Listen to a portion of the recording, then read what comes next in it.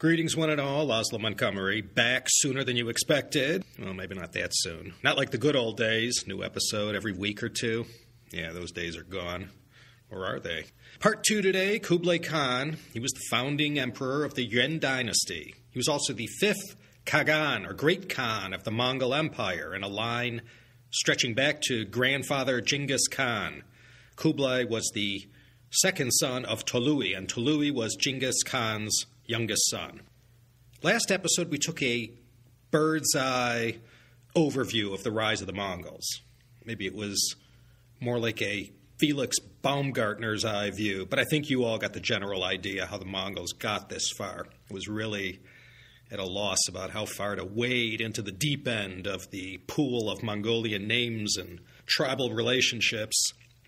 This empire of four khanates that stretched from the Pacific Ocean to Eastern Europe had drifted apart to the extent that Kublai Khan, even though being the top guy, the great Khan of the so called Mongol Empire, had no control or even influence over what happened in the other three khanates in Central Asia, the Middle East, Persia, or up in Russia where the Golden Horde was located.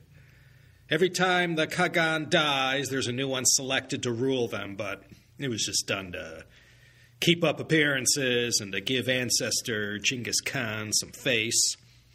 So we hurriedly left off in 1264 after Kublai Khan prevailed over his younger brother, Arik Bokeh, and his allies after the untimely death of their mutual brother, Möngke Khan. But as I said, Arik Bokeh, even with the strong support he had from conservative Mongol nobles, did not emerge victorious against older brother Kublai, who had all the resources of China at his disposal, not to mention a few halfway decent Chinese military and political advisors. Now, all this time, China has been enjoying this nice reprieve. The Zhao ruling family of the southern Song caught a break when Möngke Khan died so abruptly, like he did in 1259, right at the beginning of the Mongol invasion of Song China. The Chinese got to breathe a sigh of relief as the Mongols abandoned their conquest and fought with each other over the succession. But Kublai Khan eventually got it all sorted out to the extent that by the 1270s, the southern Song dynasty's good fortune was about to come to an end. Now, if anyone in the Mongol world was best suited to conquer China, Kublai Khan would be that person.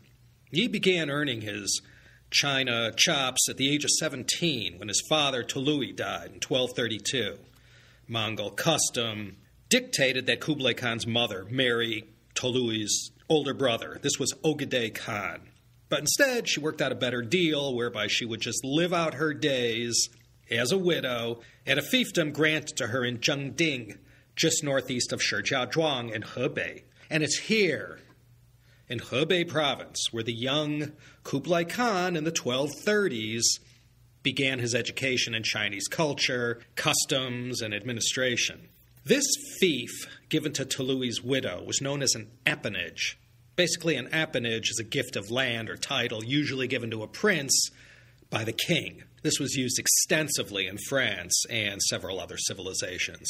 It was certainly the system in place during the Mongol conquests. If someone did something that was worthy of the Khan's notice, he got a backhander in the form of an appanage.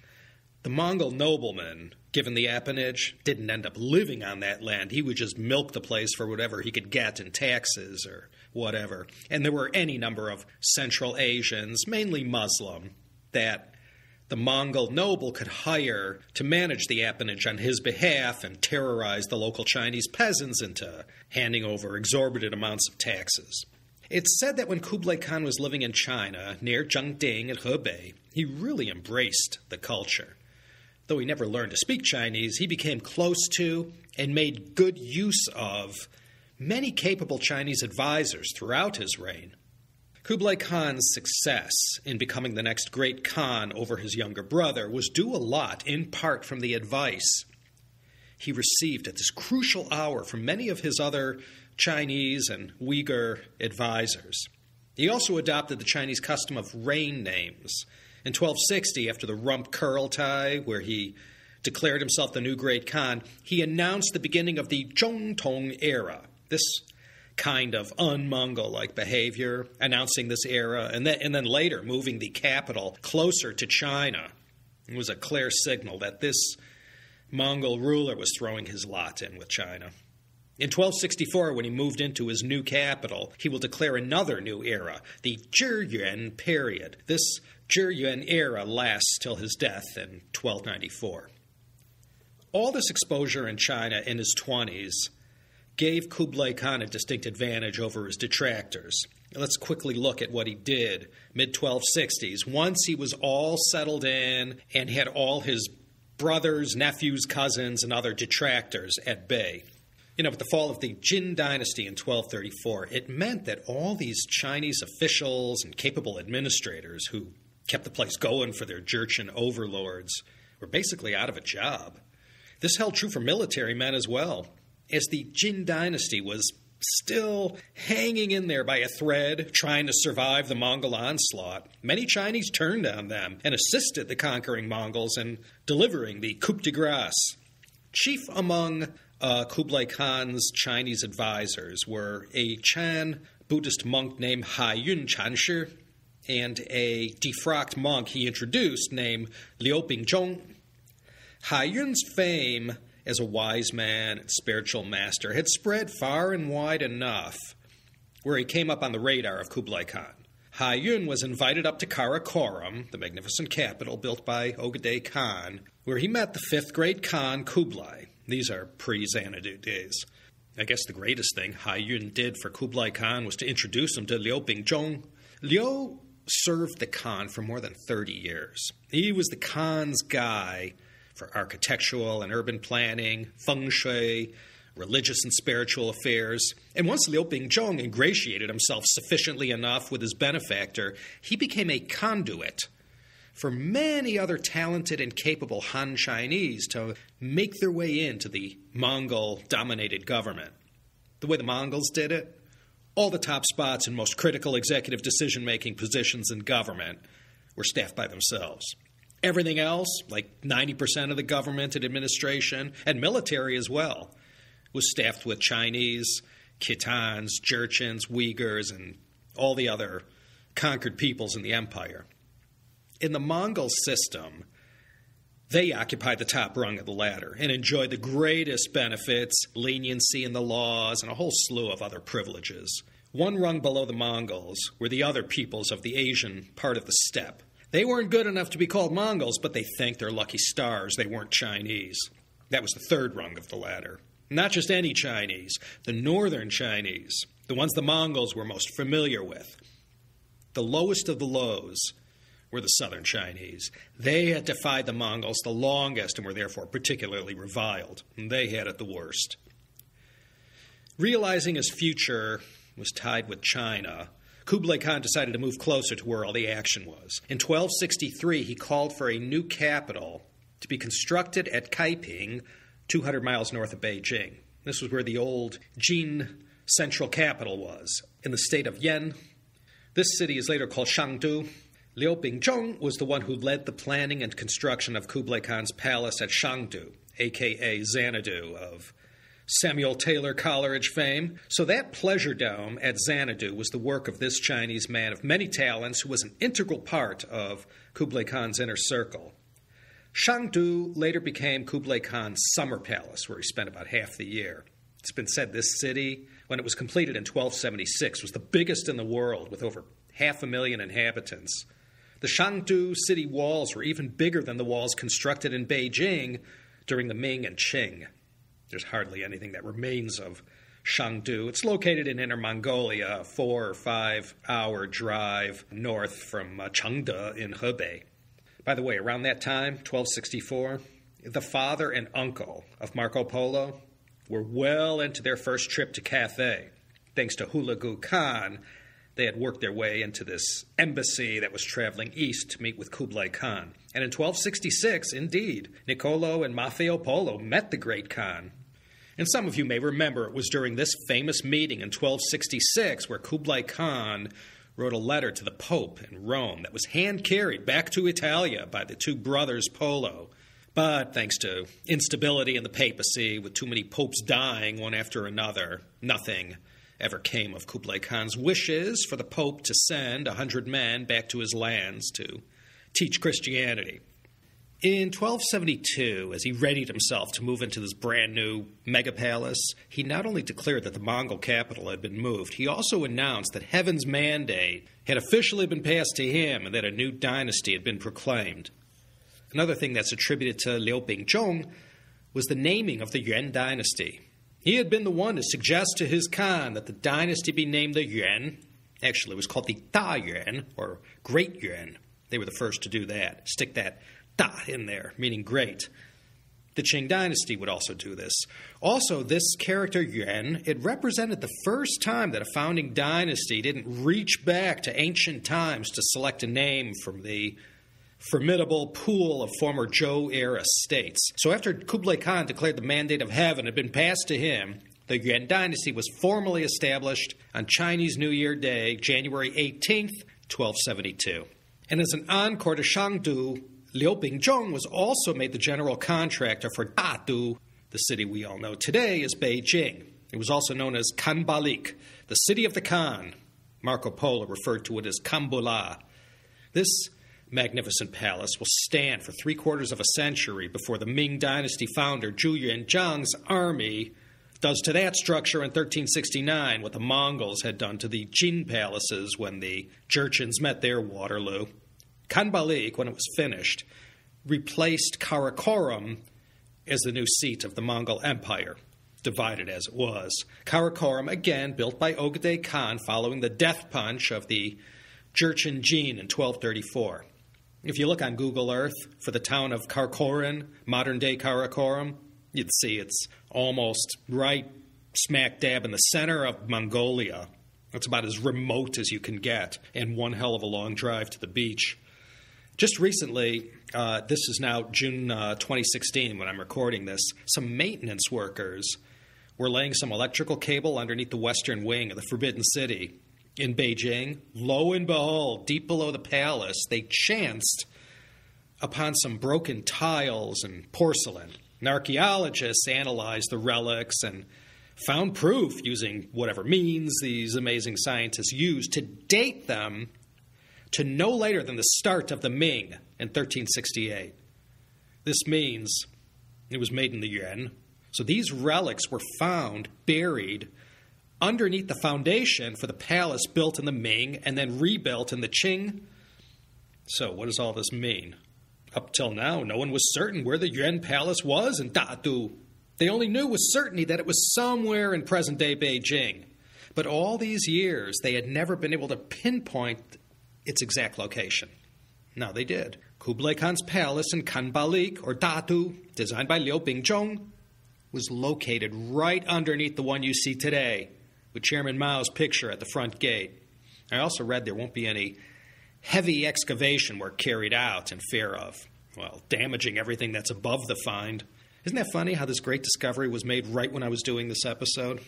One small thing uh, the Mongols ruled with a very unpleasant iron fist, but they didn't make the Chinese adopt their customs. The Manchus did that. When they blew the Ming away in 1644, they made their Chinese subjects adopt many of their customs, you know, like all Han males having to shave their head and wear a queue.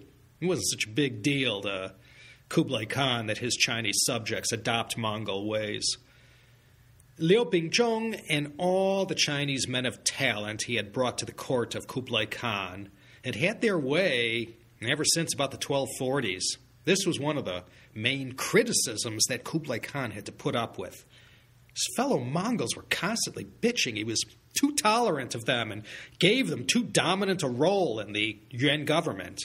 But in 1262, a Chinese governor up in Shandong, Li Tan, very much trusted by the Mongols, rose up in defiance of Kublai Khan.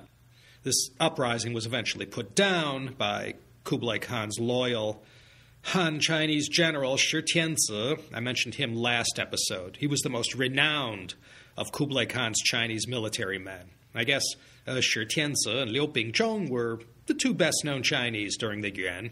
Anyway, as long as the southern Song was still alive, Kublai Khan remained uneasy on his throne. And after this Li Tan rebellion, all the Mongol factions who despised the Chinese pointed at that bloody uprising and told Kublai Khan he was naive and had better take measures to counterbalance the influence of these Chinese and the Yuan government. And this is exactly what happened. And from that point forward until the fall of the Yuan, following the Li Tan uprising, the Chinese had to put up with more Mongol and Central Asian influence in the government. The Chinese themselves were already riddled with factions and attacking each other. Now matters were further complicated by being forced to work more closely with the Uyghurs and other Central Asians who served as proxies for the Mongols and the government administration. All these Chinese who had made their way to Shangdu and Dadu, although they all didn't see eye to eye on their politics, they were all in lockstep with regard to the urgency, at all costs, of preserving Chinese culture. Many things were, of course, going to change. That was unavoidable and a price that had to be paid for conquest. But as far as the core traditions, going back to the Duke of Zhou and everything that had evolved since then, all Chinese in the employ of the Mongols worked to keep that flame going as best they could. So, anyways, let's get back to the main event. Uh, Kublai Khan was no fool. Although he had all these loyal Chinese officials and military men working for him, he knew their heart and core loyalties were probably still with the Southern Song. If push ever came to shove and it was Mongol against Song China, he wasn't quite sure where his loyal Chinese generals and officials would stand on the matter. Marco Polo had later written, quote, all Cathayans detested the rule of the great Khan because he set over them Tartars, or more frequently Saracens, whom they could not endure, for they treated them all like slaves. So, Song Dynasty, still living. But they were in a real bad way. Here's one of the important things to know about the Song Dynasty on the eve of the Mongol takeover. China, I think, in its history, had never been richer or more economically vibrant than it was during the Song Dynasty. Even on the eve of the Mongol invasion, although the Grand Canal was all clogged in places and unusable, it had already done a swell job of busting open the interior and creating thriving markets all along the Yangtze and every tributary, great and small, that flowed into it. Hangzhou was at this time in the 13th century the richest and most fabulous city in the world. As far as problems the Song emperors had, money was not one of them. And a strong military was also not the emperor's headache. As we'll see, when the battle lines were drawn, the Chinese armies did not cut and run. It was no easy advance for the Mongols. It had taken three generations for the Mongols to finally conquer China. No other nations who fell to the Mongols ever lasted that long. Well, who knows if a Taizong or a Han Wu Di or a Liu Bei could have saved Song China from Kublai Khan's onslaught. Needless to say, no one even vaguely resembling those heroes from Chinese history sat on the throne up in present day Hangzhou. The last five emperors kept getting younger and younger to the point where the last one was seven years old. He was the one who jumped off the cliff on Lantau Island off Hong Kong to evade capture by the Mongols. March 19th, 1279. And when that poor kid drowned, that spelled the formal end of the Song dynasty. As far as the southern Song went, the last real emperor, the 15th since Zhao Kuangyin, reigned a very long time, four decades. But this Li Zong emperor, he was right up there with Emperor Yang of Sui as far as his alleged addiction to the menu of services provided by his stable of concubines. He was a famous absentee emperor who let his ministers run things. The Li Zong emperor is usually hung out as the main reason for the reversal of fortune for the Southern Song. When he died, the Empress Dowager Xie took charge. She will get to preside over the final demise of the dynasty. Li Zong was followed by the Du Zong Emperor, 1264 to 1274. He was another one of those leave everything to his ministers kind of guys. He shared the same chancellor as Li Zong, someone who ended up getting skewered in the official histories. Ming historians had a gas heaping lots of blame on Jia Sidao when they wrote the official history of the Yuan. the Li Zong Emperor and Jia Sidao. Those two are usually pointed at the most as the primary scapegoats for the Song's problems. It's hard to know what the truth is, but this minister, Jia Sidao, has been marked by posterity as truly one of the more noteworthy, self serving, scheming ministers. Later generations would often use Jia Sidao as their example for a treacherous official. Now, it was during this time of the Duzong Emperor that the Polos began making their way east to China on their second trip. This was the trip where they went to uh, the trouble to bring actual signed documents from the Pope and authentic holy oil from Jerusalem. And this is the journey where Marco Polo accompanied his father and uncle. They won't get there till 1275. Also, during the time of Duzong, uh, Kublai Khan launched what he hoped would be a campaign to finish off the southern Song. He doesn't personally lead any troops into battle like the good old days, but he has a couple of guys who do a bang up job. One was Aju, the 31 year old grandson of Subutai. Aju's father had been Kublai Khan's general who led the armies that brought down the Dali kingdom in Yunnan. His other general was a pretty important guy, Ba Yan of Barin. If you read Marco Polo's travels, he was the one referred to as Ba Yan Hundred Eyes. He came from a long line of generals going back to the conquests of Genghis Khan. His father was part of the squad that wiped out the assassins, the Hashashin, who we discussed last episode. However, he died in the attempt. After the conquest of the Song, Ba Yan of Barin would become the most important Yuan general for Kublai Khan, with Aju in second place. Despite the well known fact that Mongols weren't particularly known as sailors, the plans to invade Song China relied heavily on a naval expedition. This plan called for a massive flotilla of ships to be sailed down the Han River, the Hanjiang, or Hanshui as it's known. This is one of the mighty rivers of China, 952 miles long. Its source is in the north of China near the Gansu Shanxi border and it empties itself out, as any self respecting Hubei Ren will tell you, in the city of Wuhan, right on the Yangtze River. This is the river that divides that great and historic city into three parts Wuchang, Hankou, and Hanyang.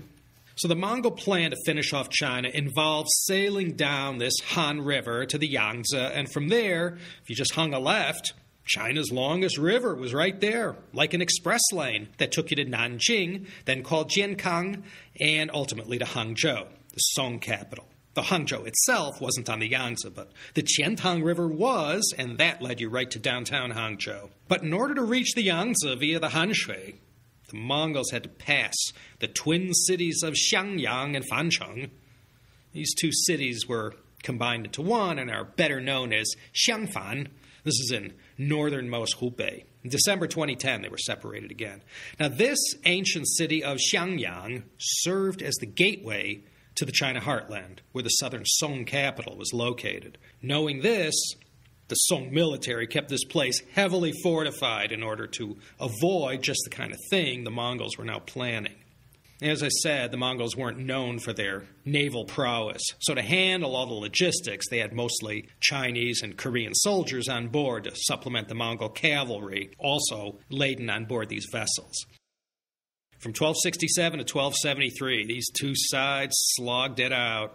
There was this new invention that was put into use for this Battle of Xiangyang. We know it as a trebuchet. It's also called a trebuchet. The Chinese called it a Hui Pao, or Muslim trebuchet. It was a kind of catapult that employed counterweights that gave these siege weapons more heft and greater accuracy. You can't believe the damage a 300 pound object hurled at you from a great distance can do. It certainly helped the Mongols win this battle. Gunpowder had been around for a few centuries by then, and its explosive properties were used well in this battle and siege of Xiangyang. The gunpowder bombs were also hurled into the city by these Hui Hui Pao, which were crude compared to what came later. But then again, so was the atom bomb used in World War II compared to the ones they got today. Uh, February 1273, the city fell, and it was left up to all these Chinese forts along the Han Shui to try and slow down the advance But it, it was no use. That flotilla just kept on coming, advancing to the southeast in the direction of the Yangtze River. Just imagine 850 years ago, invading Mongols, sailing down the Han Shui. what a sight that must have been. Well, it took time, but they made it to Wuhan all right. Once there, in early 1275, they made that left turn and began heading east in the direction of Hangzhou. It was at this point where Empress Dowager Xie shamed Jia Sidao, the minister with all the bad advice, into leading forces personally to go deal with this unstoppable threat. So, March 1275, Jia Sidao led his 130,000 Chinese troops into a do or die battle to stop Bayan, who was leading this Mongol advance. Despite using 2,500 vessels to blockade the Yangtze, the Chinese forces under Jia Sidao's command were routed. And for failing the dynasty in this last ditch effort, Empress Dowager Xie had Jia Sidao banished to Fujian but like Huizong's minister, remember him, Cai Jing? He also got himself banished when the northern Song was dying. Well, Jia Sidao got murdered along the way. So far had he fallen in disrepute because of all the problems now facing the soon to be extinct southern Song dynasty. Following Jia Sidao's defeat, it was over for the southern Song. One by one, military leaders began defecting to the Mongols. There was a new emperor sitting on the throne now, all of four years old, so there wasn't much this Emperor Gong was able to do to ameliorate the Song dynasty's desperate situation. The inhabitants of the city of Changzhou learned the hard way what happened when you didn't submit to the Mongols and put up a fight instead. Ba Yan's troops had a hard time getting this ancient city on the Grand Canal to submit to his armies. But when he finally did, to teach everyone a lesson, he had every inhabitant of Changzhou, who couldn't find a halfway decent hiding place, massacred down to the last man, woman, and child. Empress Dowager Xie, at the same time she was pushing Jia Sidao into battle, was also sending out feelers to the Mongols to see if a deal could be struck. By early 1276, Bayan's army were cooling their heels outside the gates of Lin'an, the Song capital, present day Hangzhou, taking stock of the situation and realizing the futility of continuing, not to mention the potential, sacking of the most magnificent city in the world at the time, and all that it meant to Chinese culture. Grand Empress Dowager Xie took the emperor, now five years old, but still too young to save the day, and knocked on the door of the Mongol camp and surrendered. So Hangzhou fell without a fight. On February 10th, 1276, Ba Yan and his troops entered the city. Eleven days later, Emperor Gong, 16th in a line stretching back 300 years, bowed before Ba Yan.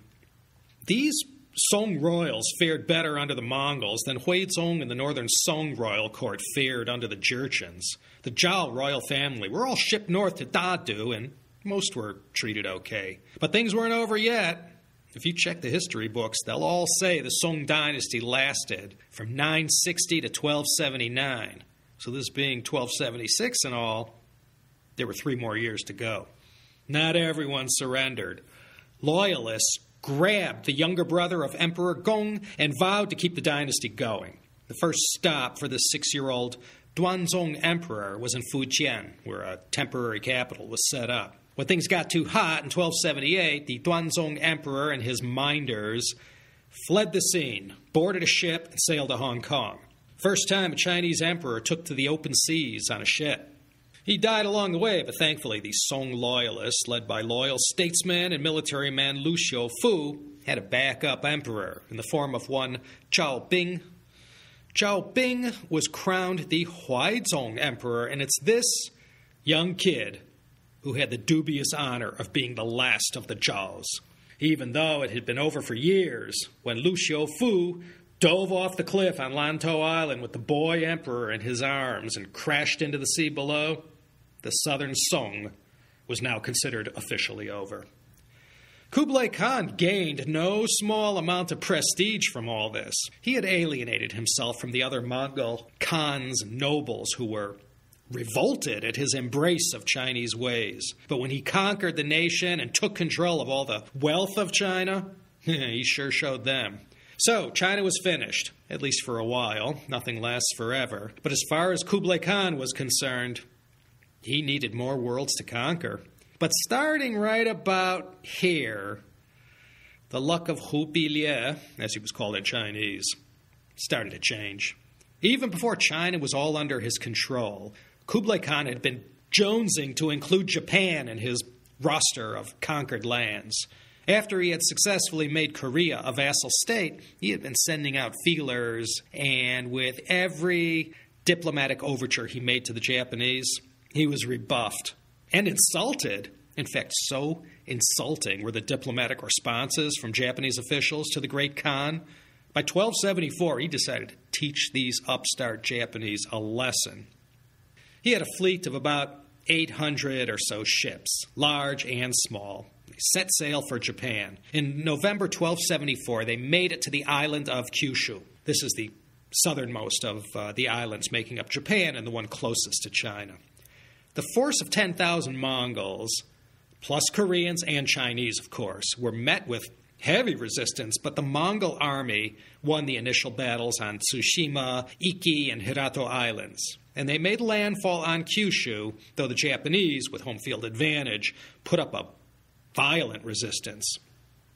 When suddenly a storm started rolling in, the Koreans had suggested they all make their way back to the boats and sail them away from the rocks so they wouldn't get all smashed up, leaving them stranded in enemy territory. This they did, and once everything was backed away from the rocky seashore, the whole fleet got swallowed up in the storm, and that was the end of that. Any soldiers who didn't make it back to the ship were brutally put to the sword by the Japanese. This didn't deter Kublai Khan, however, and he kept sending these diplomatic overtures and sending envoys. And these diplomats were just killed, one after the other, had their heads cut off for crying out loud. Finally, Kublai Khan screw this, and in 1281 he calls for an even bigger punitive expedition to Japan. This time he gets the help of the King of Korea, who sends not only 900 ships, but one of his best admirals, too. This was above and beyond the 140,000 man army assembled for the task. These were made up mostly of Chinese, Jurchens, and Khitans. The ships sailed from both Korea and Fujian with the plan to rendezvous in Kyushu by June of 1281. The Japanese knew what was coming, and this time they had taken precautions. By the time the Mongol fleet arrived in May 1281, the Japanese defenders were better prepared. Not much went well for the Mongols, and between May and July 1281, the Mongols were done in. By mid August, whatever was left of the Mongol fleet and the remaining soldiers was destroyed in a two day full blown typhoon. After the destruction wrought by these kamikaze or divine winds, that spelled the end of Kublai Khan's high hopes regarding uh, the land of the rising sun. While the Mongols were getting their butts kicked in Japan, Kublai Khan had launched a successful campaign at cleaning up the Grand Canal. This marvel of human engineering really took a big hit in 1128 during the wars between the southern Song and the Jurchen Jin forces. Not only was the canal repaired, it was extended so that it reached the capital, Dadu, present day Beijing. So Hangzhou and Beijing were linked by this waterway for the first time. Well, Kublai Khan not only had to eat humble pie with Japan, he didn't have much luck either with military adventures in Burma and Vietnam during the 1280s. From their base in Yunnan, the Mongols pushed south, but as I said, not much luck. In 1292 1293, same thing happened with a Mongol attempt at taking the Indonesian island of Java. Another debacle. These were Kublai Khan's last years. He had grown mortally obese and was said to be suffering from severe depression over the loss in 1281 of his principal wife, Empress Chabi. She was not only his favorite wife, she was one of his most trusted advisors. Then, to make matters even worse, his second son and crown prince, Zhenjin, died in 1286 at the age of 43. This prince, also called Prince Jingim, some of you may remember from the Netflix production on the life of uh, Marco Polo. Uh, son, Temur, was made the new crown prince, and he will become the next Khan and emperor following the death of Kublai Khan. Marco Polo had already left China a few years before the death of Kublai Khan on February 18, 1294. So, Kublai Khan, he had a very sad ending, but lived a nice, long life, living till the age of 78. Things will begin to unravel quickly for the Mongols in China once Kublai Khan is gone. He was given the posthumous temple name of Shizu. Nine more emperors will follow him to round out the remaining 74 years of the Yuan dynasty. Kublai Khan's three lines of sons and their proxies were always battling it out for the top spot. And one thing about these remaining Yuan dynasty emperors, they preferred to leave important matters in the hands of their ministers and advisors. No one even came close to being a Kublai. Temur Khan took over from his grandfather and reigned as the Chengzong Emperor. He lasted from 1294 to 1307. In addition to his title of Yuan Dynasty Emperor, he was also the sixth of the great Khans. They still kept that facade going. One of the characteristics of his reign was that this son tried to patch things up with the other Khanates. Kublai Khan had been at odds with them for going on 30 years. The war, in particular, with Kaidu had caused a great financial strain on the Yuan resources. This Kaidu Kublai War of 1268 to 1301 pitted this descendant of Ogedei Khan against Kublai and his allies. All of these expensive military adventures or misadventures, the Chengzong Emperor called them all off. They had been costly failures. Other than that, however, he pretty much continued the policies of Kublai Khan. By now, with Kublai's passing and the Kaidu Kublai Wars at an end, the four Khanates were split even further apart. When Chengzong died in January 1306, there was no heir to replace him, so you know what that meant. Kulug Khan was up next. He was the Wuzong Emperor. He was 26 when he became the third Yuan Emperor and died at the age of 29, so he didn't last long. He was a young warrior and fought well in the Kaidu Wars. So when Temur Khan, the Chengzong Emperor, died, Kulug Khan was looked at by the elders as the most suitable candidate to become the new emperor. Factionalism was rife during this emperor's reign, although this becomes the norm for the rest of the dynasty.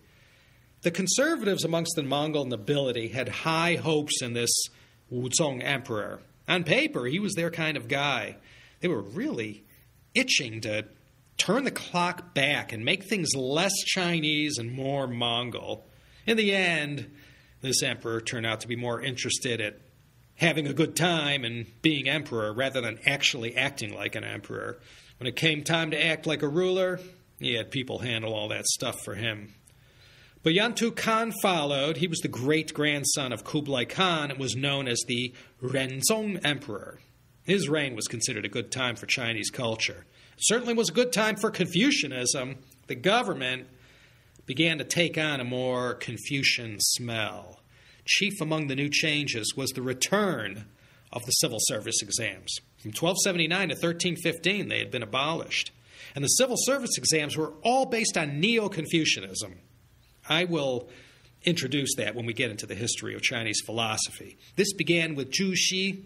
He lived from 1130 to 1200. He was born a few years after the fall of the northern Song, which meant his life was contemporary with Genghis Khan, though Zhu Xi was older than the great Khan by 32 years. I won't discuss his philosophy here. Let's just say after Confucius, Zhu Xi is arguably the most important Chinese philosopher. He took four of the most important works of the Eastern Zhou the Analects, the Mengzi, the Great Learning, and the Doctrine of the Mean, and grouped these works together calling them the Si Shu, the four books, the Lun Yu, Mengzi, Da Xue, and Zhongyong. They weren't called the four books until Zhu Xi grouped them together and started calling them that. Prior to this, the I Ching played a more important role in Chinese thought and how things were explained.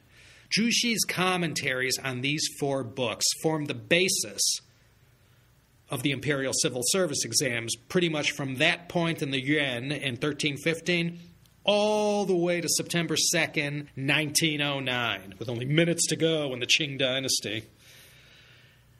There's way more to this, and we're not even going to wander any further down this path. We'll come back another day to examine Zhu Xi and his contributions to Chinese philosophy. So, this emperor reigned during a good period for Chinese culture. Certainly was the best time ever for Confucianists during the Yuan. Many kinds of old Mongol institutions were done away with.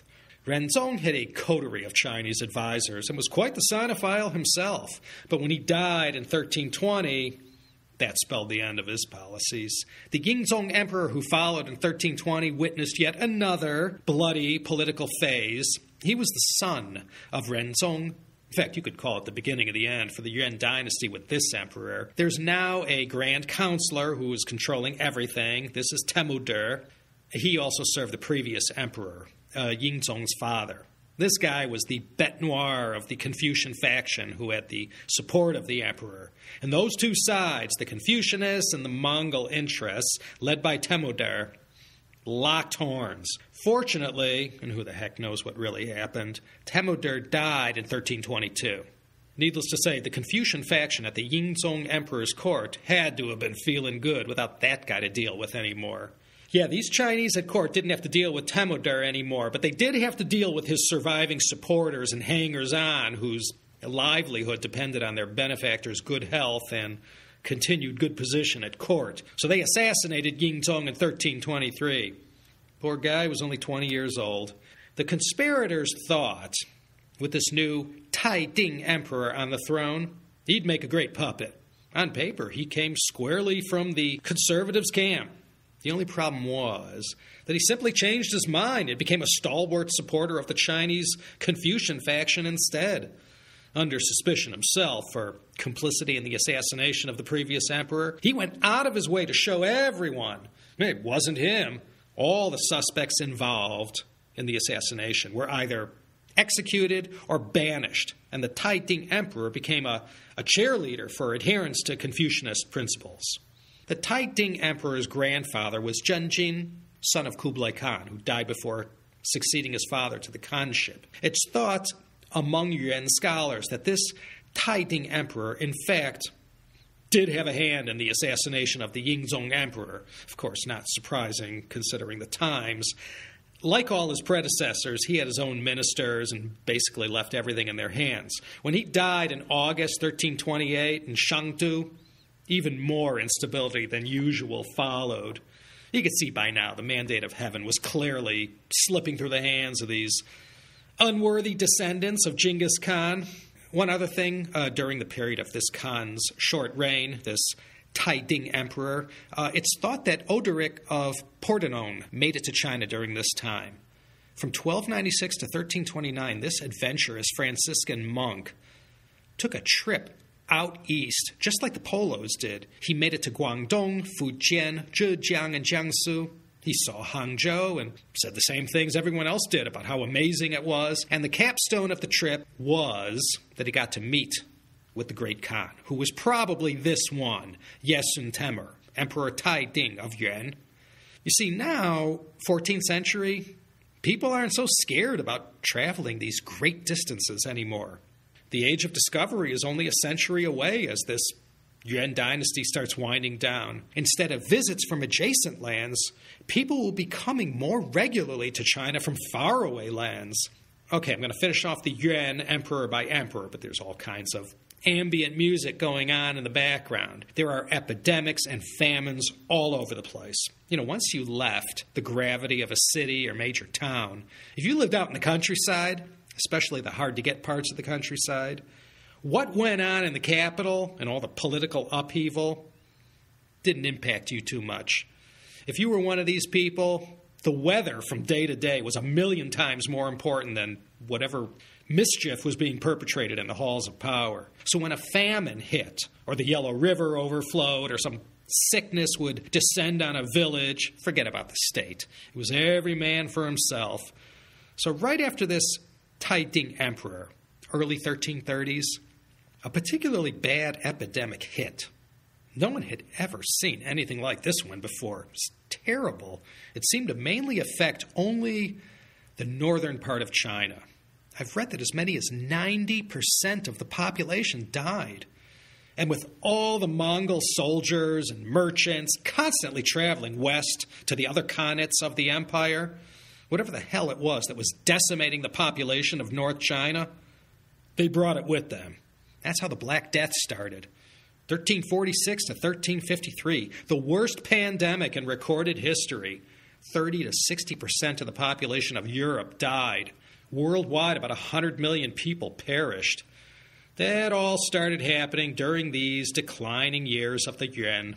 The Taiding emperor died in 1328, and his seven year old son got to be emperor for a month before he too was overthrown in a coup. This period in Yuan dynasty history is known as the War of the Two Capitals, the Liangdu Zhizhan. Two capitals. Hmm, must be a civil war. There were two main factions fighting for power. One was based in Shangdu, the summer capital, and one was in Dadu, or Khanbaliq, present day Beijing. The faction in Dadu emerged victorious in this power struggle, and that's all it was just various branches of the family all killing each other to claim the top spot. This went on until 1332. It was very destructive.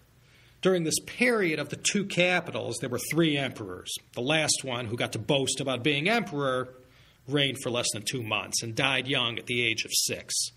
While all of this killing and political backstabbing was going on, the rest of the country was falling to you know what. When the last Yuan dynasty emperor, all of 13 years old, began his reign in 1333, Zhu Yuanzhang will be celebrating his fifth birthday. Of course, when young Zhu Yuanzhang hits his 40th birthday, he'll be burning down Khanbaliq and chasing these Mongols back to Mongolia. Then he'll found the Ming dynasty. This last Yuan dynasty emperor Togun Temur, Emperor Shun, not the Shun from 2200 BC, who named Yu the Great as his heir. This was a different character, but same fourth tone, Shun. He was the Mongol emperor on duty when the party ended for the Yuan dynasty. From the chaos and destruction in the countryside emerged the White Lotus Society. These were anti Yuan elements who all came together to fight or lend influence in opposing this Mongol oppression that usually came in the form of you know, these terrible taxes. They were responsible for playing a behind the scenes role in the launching of the Red Turban Rebellion in 1352. What the Yellow Turbans did to the Han early in the third century, the Red Turbans will do to the Yuan. It will hasten their demise. Once you lose that mandate of heaven, there's no getting it back. Ever since Kublai Khan died in 1294, it had been mostly downhill for the Yuan dynasty he founded. By the 1320s and certainly by the 1340s, it was clear these guys were on their way out. Zhu Yuanzhang didn't lead the Red Turban Rebellion at first, but he was definitely a major guy in the rebel forces. After knocking out a few of his rivals in the Red Turban leadership, Zhu Yuanzhang established himself as the top rebel leader, fighting to overthrow the Yuan and adopting a platform of dump the Yuan and restore the Han, didn't have trouble finding popular support. To secure the leadership of the movement, and therefore the leadership in overthrowing the Yuan, Zhu Yuanzhang starred in a major, epic battle that happened on Lake Poyang for about two months, end August to beginning of October in the year 1363 you had the Poyang Hu Zhizhan, the Battle of Poyang Lake. I won't get into the details here because that one was worth its own podcast. Three rebel groups contending for supremacy in the movement all met at Lake Poyang. It was one heck of a naval battle involving these tower ships, fire ships, explosive gunpowder bombs, and all the latest mid 14th century military technology. There were three contenders flying the flags of Han, Chu, and Ming right there on Lake Poyang in Jiangxi province. The Ming forces under Zhu Yuanzhang prevailed and came out as the unchallenged leaders of this Red Turban Rebellion. And then five years later, he was calling himself the Hongwu Emperor. He was the only dynasty founder, Zhu Yuanzhang was, other than Liu Bang of the Han Dynasty, to come from a humble, non aristocratic background. By 1368, he burned Khanbaliq to the ground, and all the Mongols got chased back up to their traditional homelands in Mongolia. Shangdu, as well, in 1369, was taken by the Ming forces. The Shun emperor continued to reign for two more years up in a part of what's today Inner Mongolia. He died a couple of years later in 1370. Yuan loyalists kept the Yuan dynasty going till 1635 in the, in the form of the Northern Yuan dynasty. But as far as the Mongols' time on the stage in Chinese history as the main act, their 15 minutes were up. I suppose for all these years, going back to the moment they first came on the scene, the Han Chinese were never fond of these Mongol invaders. Same thing in Eastern Europe and the Middle East. Their ways, culture, the attitude with which they treated the people they subdued, nobody liked them. They were rough and not anyone you wanted to pick a fight with. They sure were fantastic, however, at getting talented people to work for them. So, 1350s, 1360s, I guess you could call these the payback years for the Han Chinese. There was some real brutal fighting going on between the Han Chinese during the Red Turban Rebellion and the Mongol soldiers. A lot of retribution was meted out against these Mongols who got caught up in some kind of moment. If somebody from the future would have told Kublai Khan in 1279 that it would all come down to this, he never would have believed it in a million years. All the great world powers since have learned that lesson. Nothing lasts forever. And no matter how great and powerful you are, there's always going to come a time when people won't fear you. But the Yuan dynasty left behind one incredibly rich legacy. The Han Chinese didn't go to sleep for half a century during this occupation. Quite a lot of nice stuff came out of this period. Just the other day, I had the pleasure to be kicking back with this restaurateur from Shandong who was in town and prepared for me this 30 year old pu'er tea that he very expertly served for me in these teacups that he said came from the Yuan dynasty. This guy was quite loaded, so I had no reason to doubt it. And he went on and on about all the achievements in Yuan dynasty ceramics. And he taught me about the kilns of Longquan uh, near Lishui in Zhejiang province and Jingdezhen, too. This place, so famous the world over as the capital of China's porcelain industry, became world renowned during the Ming for its blue and white porcelain. Zheng He spread that stuff around wherever he went on those seven voyages. It all began in the Yuan, not the Ming.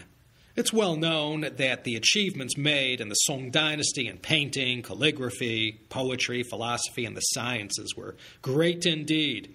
Well, things kept going, albeit quietly, during the Yuan.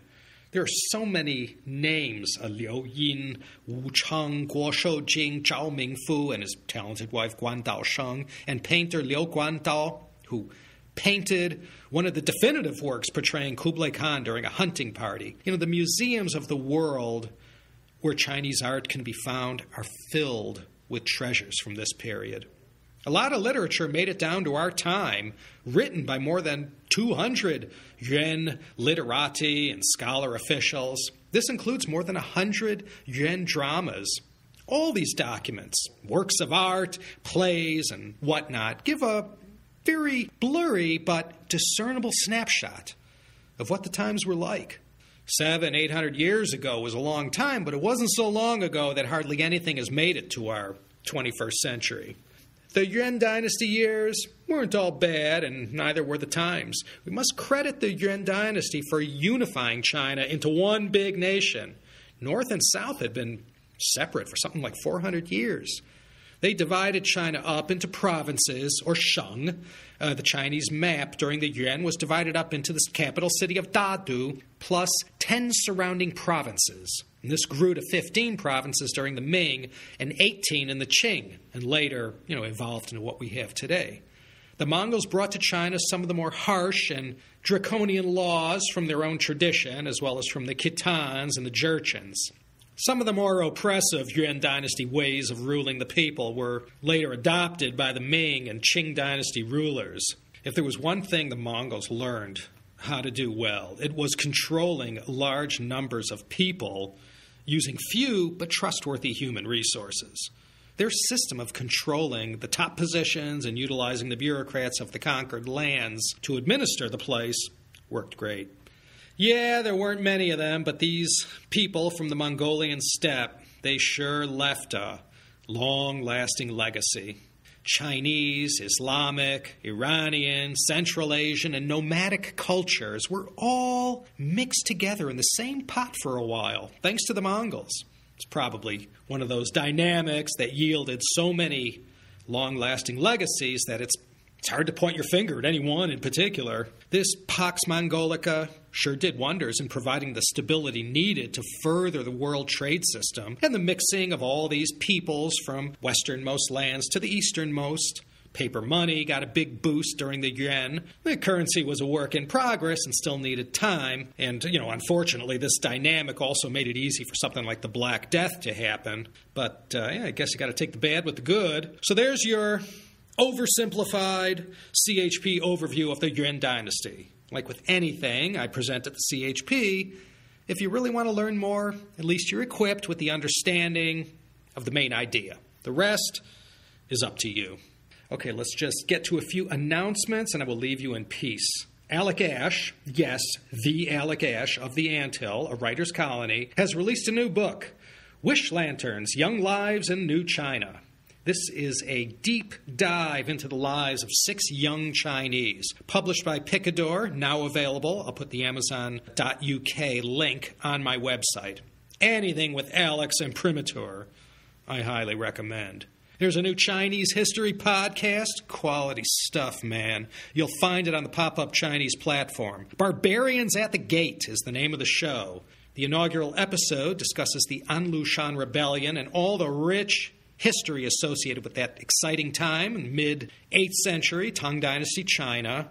James Palmer and Jeremiah Jenne, two real China history experts, not this Laszlo Montgomery stuff. James Palmer, author of The Bloody White Baron and The Death of Mao, The Tangshan Earthquake and the Birth of New China, and Jeremiah Jenne, of course, an occasional fixture on the Sinica podcast. He's also the longtime proprietor of the venerable Jottings from the Granite Studio blog. I just finished listening to the special second episode. I kid you not. While James was off getting hitched, Jeremiah had Brendan O'Kane together with David Moser discussing David's book out on Penguin Specials called A Billion Voices China's Search for a Common Language. Holy cow, man, Brendan O'Kane. He did not disappoint. Anyone interested in Mandarin Putonghua, the Chinese language, Guoyu, or whatever you want to call it. Don't miss this one. On the new hit show, Barbarians at the Gate, the Khitans will be up next. Hey, mea culpa. I wrongly said in one of those Zhou Enlai episodes that the world record portrayer of Zhou Enlai in the movies, Wang Tiecheng, portrayed the premier in the recent movie Zhou Enlai, the Sika Zhou Ye. Listener Warren C., who actually once met Wang Tiecheng, pointed out he was not the one in that movie I mentioned. The story of Zhou Enlai. That was Sun Wei Min. But Wang Tiecheng still has the gold medal as far as number of portrayals. Thanks, Warren. I got that movie mixed up with the 1992 Zhou Enlai movie, which is also quite good. Uh, check out this new website called Sixth Tone, sixthtone.com. Uncommon stories about common people in China. The content is presented by locals in China who ought to know best what's going on. They're backed by the China government, but don't hold that against them. What I saw so far looks quite promising. Go check it out at sixthtone.com. That's all there is. Laszlo Montgomery here, signing off from the City of Angels, Los Angeles, California. Sunny and beautiful as ever. Uh, join me next time if you're so inclined. Let me say the next CHP episode is going to be a good one. It's been requested a hundred times over the years. Can't wait to present this one to you. Take care, everyone. I hope your summer of 2016 is off to a rip roaring start. More Chinese history coming, free of charge. No hitting you up for favors or donations. Not yet, anyway. See you next time when we meet again for another emocionante episodio de the China History Podcast.